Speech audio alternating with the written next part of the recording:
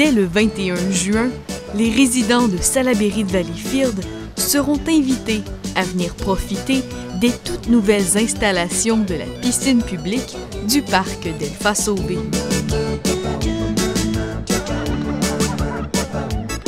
C'est un tout nouveau concept. On est parti euh, de la structure de l'ancienne piscine. On a relevé le tout d'environ deux pieds.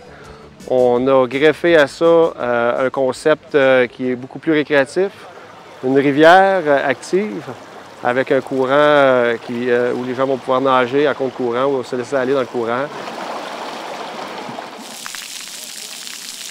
On a une section jeu d'eau. On a une section glissade. Un bassin de 25 mètres d'entraînement.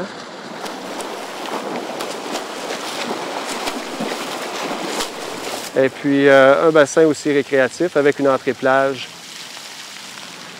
ainsi que des accès pour les personnes à mobilité restreinte. La ville a non seulement rénové la piscine, mais aussi le chalet qui y est associé. C'est un concept qui a pris euh, de, de la conception à la réalisation environ deux ans. Donc c'est un projet d'envergure.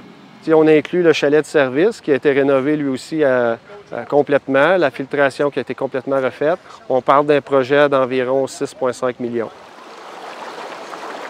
L'eau de la piscine sera chauffée, ce qui permettra d'ouvrir plus tôt dans les prochaines saisons et de fermer un peu plus tard.